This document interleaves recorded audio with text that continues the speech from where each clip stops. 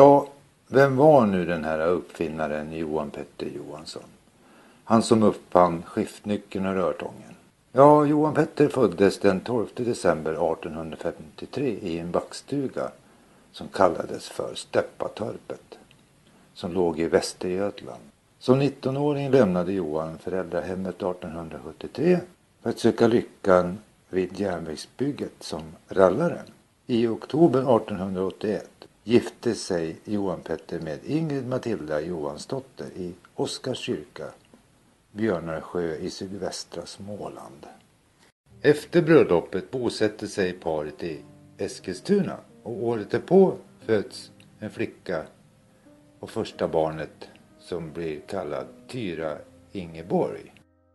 Den 11 april 1883 packade familjen Johansson sina ägodelar och lämnade torpet i Fötöne. Förutom Johan Petter som stannar kvar i Sverige. Tre dagar senare gick Johans far och mor och syskon ombord på skeppet Albert Ehrensvärd i Göteborg som skulle segla till Amerika. För den teknikintresserade Johan Petter var det en lyckosam händelse 1874 att få anställning vid Munktells mekaniska verkstad i Eskilstuna. Och den första uppfinningen som Johan klurade ut var en smörjkopp till ångmaskinerna som ingick i Munktells patent.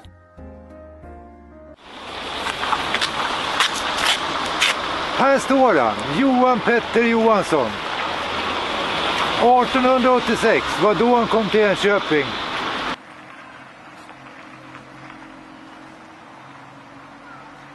Och han uppfann rörtången, skiftnyckeln och 116 uppfinningar till.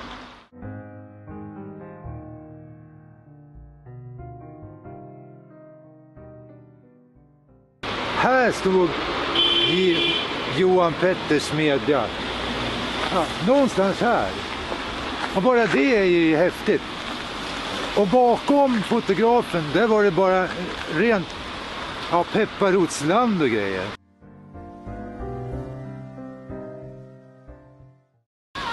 Så det var inte mycket bebyggelse här 1886 då JP köpte smedarna. Som eh, förmodligen har stått någonstans här.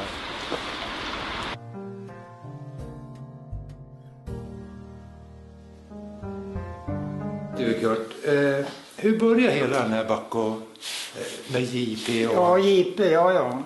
Jo, han eh, har satt ihop sin lilla smedja ner på någonting som heter Västra hängnaden här i stan.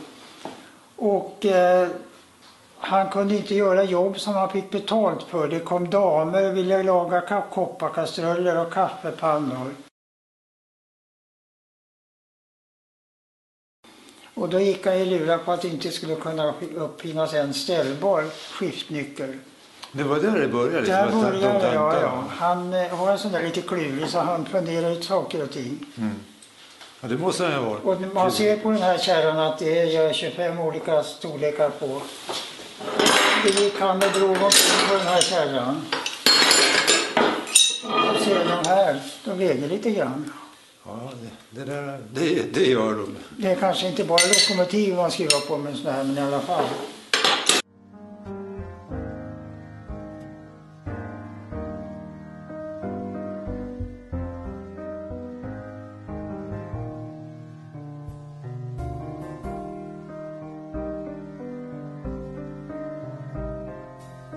Det är Johan Petters verktyg. Så Ja, det- visst var det det. Det var han som drog omkring kärran. Ja, och kärran också.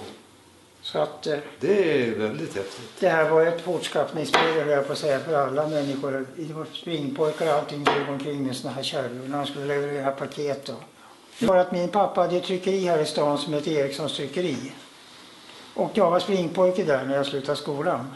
Så det var här jag träffade JP flera gånger. Och då fick jag Jag talar ma- på prov, man skulle visa, vi tryckte mycket trycksaker åt JP då. Mm. Och han ville godkänna dem. Och då fick man gå in på hans kontor som låg en bit härifrån. Och han var mycket vänlig och pratsam och han satt och läste igenom om det var rätt stavat, om det var rätt bilder och sådär. Ja, sen så, ja, så sa han, nu det okej, nu, nu kan vi trycka. Mm. Så då försvann jag ner till tryckeriet som låg mitt i stan. Var han grinig gubben då? Nej. Han nej, var inte det? Nej, aldrig åt mig i alla fall. Nej. Jag var väl inte ohyfsad jag heller så då... Nej, det fanns ingen anledning att vara i Nej, men han var trevlig. Ja. Men han satt i det här huset som vi står i nu? Ja, det här är hans första kontorshus.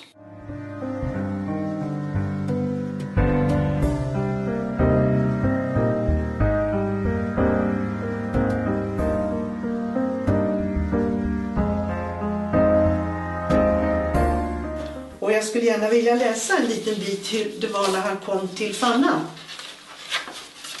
Och då säger han så här. Eh, det var, han hade träffat eh, Munktell, Theo från Munktell. Det var ju hans eh, älskade och vördade chef i Eskilstuna. Och han hade kommit till Enköping 86 i Lilla Smedjan. Och sen träffade han, han eh, året därpå träffade han Munktell vid Tillberga. Och så säger Munktell, Nå, hur går det för dig Johan? Jo tack, det artar sig. Jag har köpt in ett vattenfall utanför Enköping. Va? Vad sa du? Ett vattenfall i Enköping? Var hittade du det? Jo, öster om stan, ute i backarna.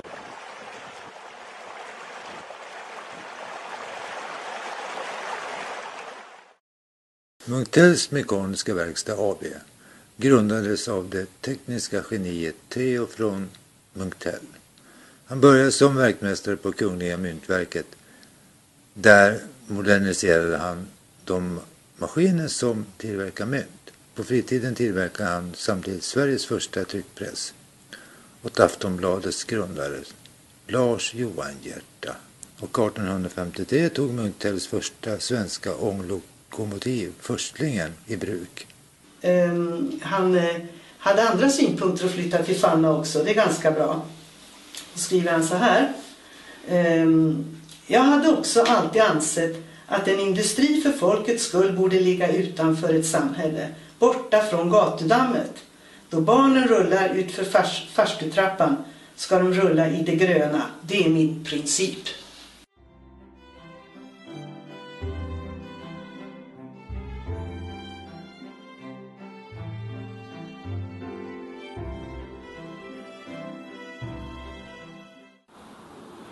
Eh, här låg för första bostaden som Johan Petter med familjen hyrde.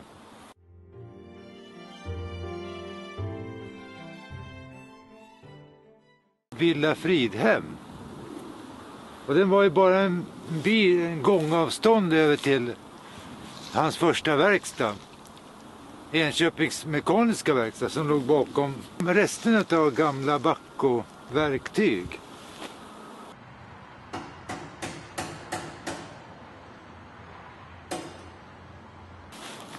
Här bodde då familjen Johansson innan de byggde Villa Fanna Lund som ligger åt det hållet.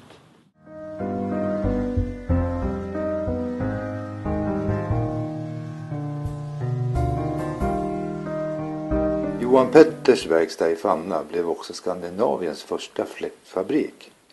Där konstruerade JP egna fläktar i enkla varianter som kallades för sugfläktar och var gjorda i gjutjärn. 1890 sluter JP ett avtal med Bernt August Hjort och kompani och där BA Hjort får ensamrätten till JPs produkter mot att BA Hjort lanserar dem på marknaden. Vänskapen mellan JP och Bernt August höll i sig hela livet ut.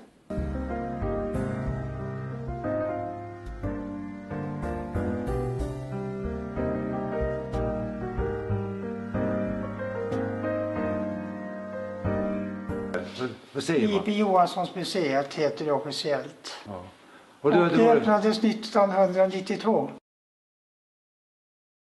men du, eh, jag har ju funderat på det här nu med, med det, den allra första uppfinningen. Var det rörtången eller var det skiftnyckeln? Det var rörtången 1888. Men du, då, då kommer vi till det.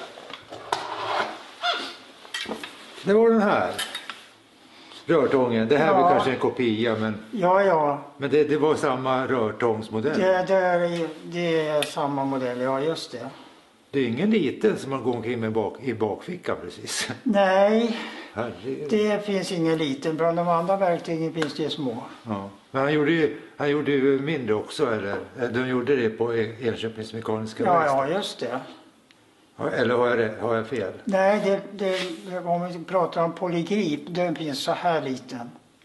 Oj. Den är bra att ha när man äter kräftor och knäcka klorna med. Ja, jag kan tänka mig det. Damerna kan ha den i väskan om... Ja, det är en liten historia. Ja, ja. Du berättade för mig tidigare eh, att Enköpings Mekaniska Verkstad att de gjorde en skiftnyckel om dagen. Ja, det har jag eh, läst i papperna och eh, det är också dokumenterat i boken Sagan om Backo. Men hur många det var som jobbar med samma skiftnyckel det vet vi ingenting om. Men det var ett antal gubbar så det var ju många olika arbetsmoment.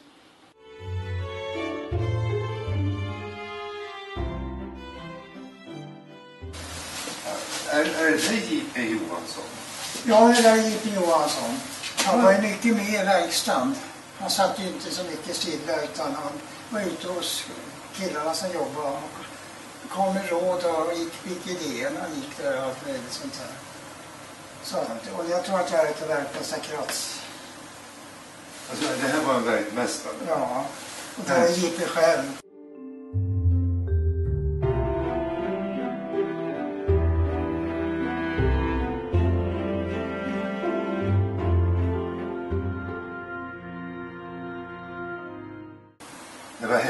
Det. Du sa någonting om den här remdriften, att den, den kunde vara farlig för arbetarna. Ja, visst var det det. Det, var, det, det gick ju långa remmar från tak och ner till maskinerna. Här uppe satt de elektriska motorerna. Och eh, så satte de fart på maskinerna här nedanför. Och där hade de då revolversvarvare och vad det var för någonting.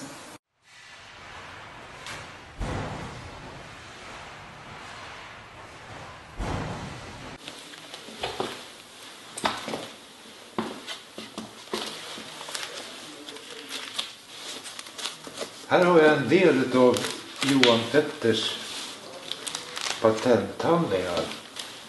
Och, som jag sa förut, han gjorde 118 stycken uppfinningar och det är bara en del. Men här är de samlade.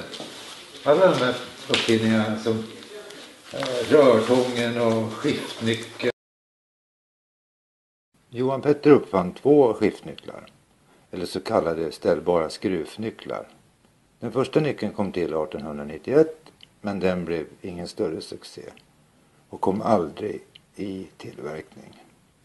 Den andra skiftnyckeln, den nuvarande skiftnyckeln, patent nummer 4066, var daterad den 11 maj 1892. Patentet godkändes av överingenjören vid Kungliga Patentbyrån Salomon August André